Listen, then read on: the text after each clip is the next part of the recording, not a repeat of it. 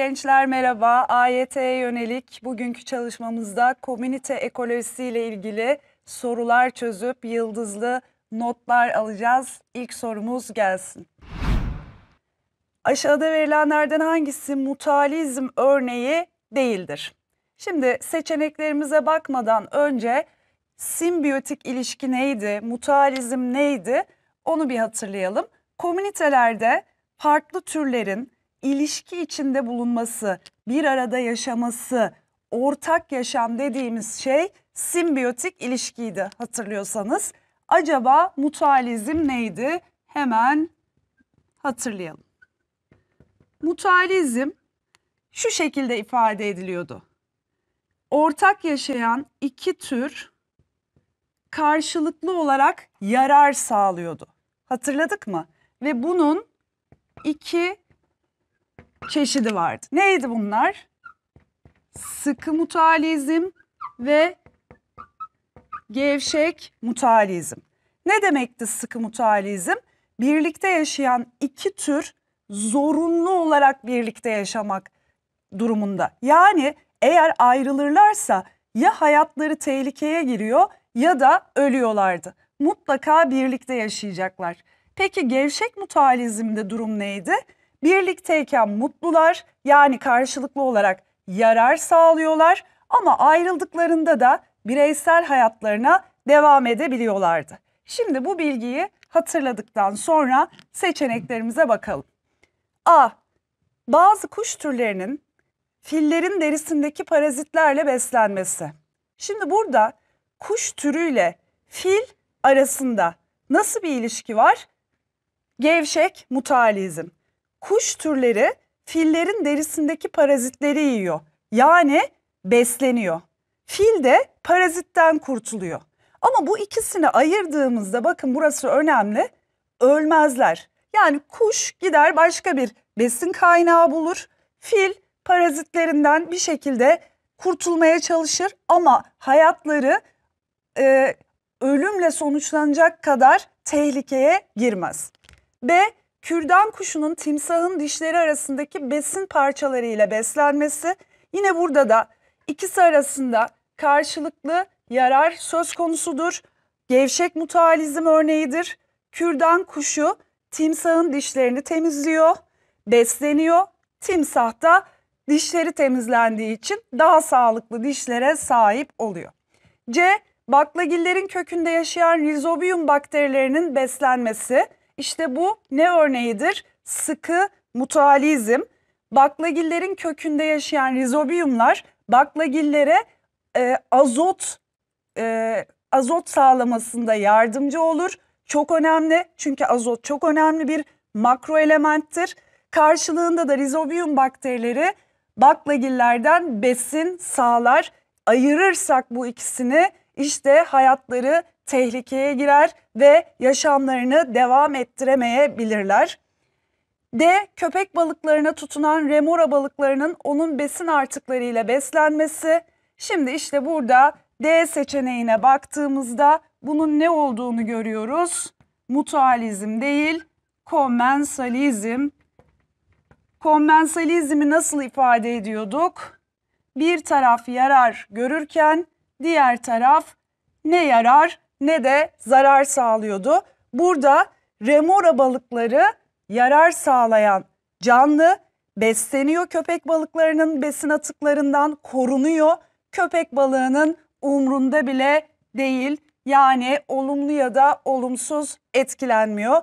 Dolayısıyla D seçeneği kommensalizm. E otçul memelilerle sindirim sisteminde selüloz sindiren bakterilerin beslenmesi yine oldukça önemli. Sıkı bir mutualizm örneği. Otçul memeliler selülozu sindiremez. Bağırsaklarında ya da sindirim kanalında konuk ettikleri mikroorganizmalar selülozu sindirir. Böylece otçul memeli glikozdan faydalanma pardon imkanı bulur. Bakteriler ise bu ilişkide e, hem yaşama ortamı sağlar hem de o besinlerden faydalanır. Yani mutualizm örneğidir. Cevabımız D seçeneğidir gençler. Diğer komünite sorumuz gelsin. Aşağıda aynı ekosistemde bulunan vaşak ile kar tavşanı arasındaki ilişki grafiği verilmiştir. Bu grafik çok önemli gençler. Av avcı grafiği unutmayın. Bu grafiğe göre yorumlarından hangileri yapılabilir?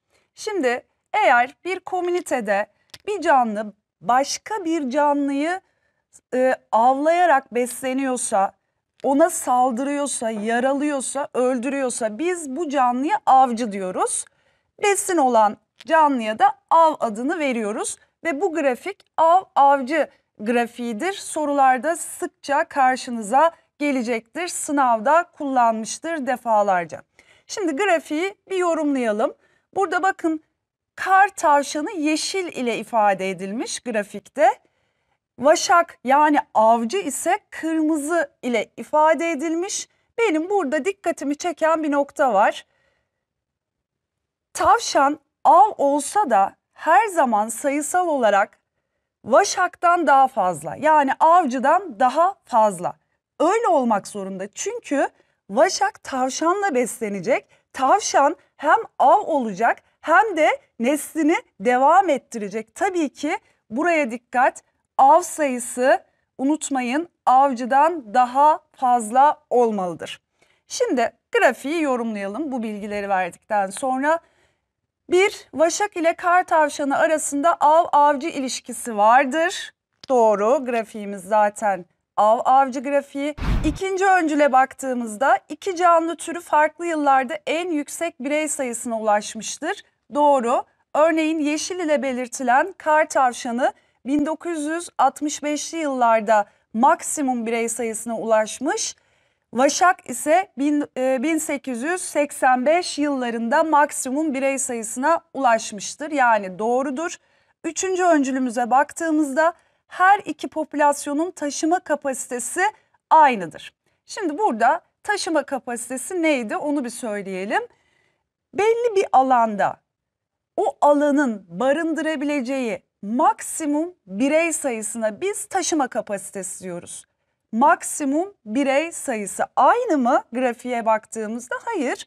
Biraz önce de söylediğim gibi e, avın birey sayısı avcıdan fazla olmak zorundadır. Bu yüzden üçüncü öncülümüz yanlıştır. Cevabımız bir ve ikinci öncüllerin yer aldığı C seçeneğidir. Diğer sorumuz gelsin.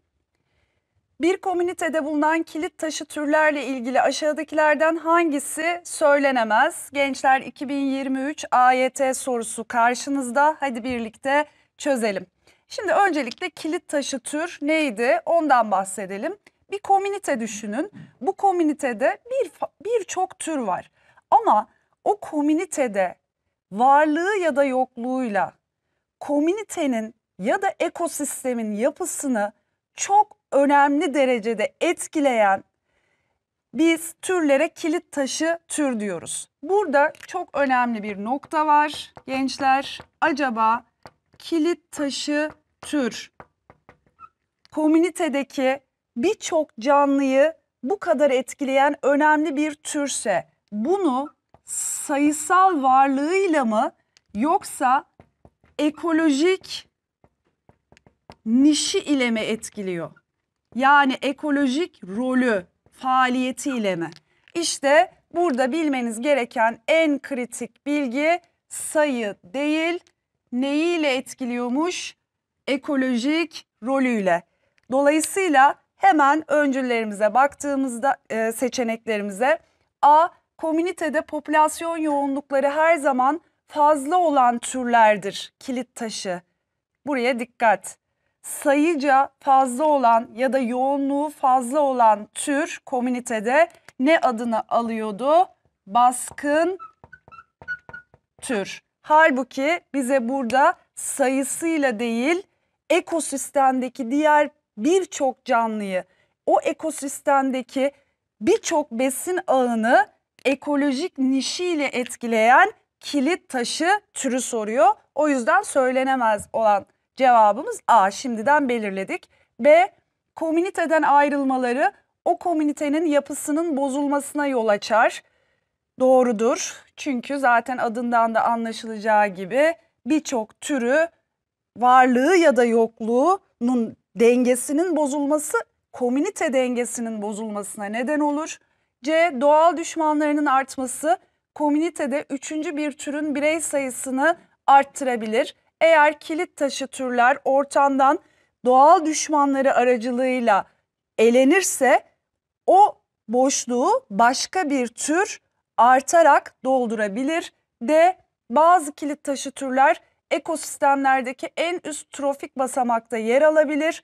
Yer alabilir, en üstte olabilir, ara basamaklarda yer alabilir. E. Komünitede türler arasındaki ilişkileri etkileyebilir.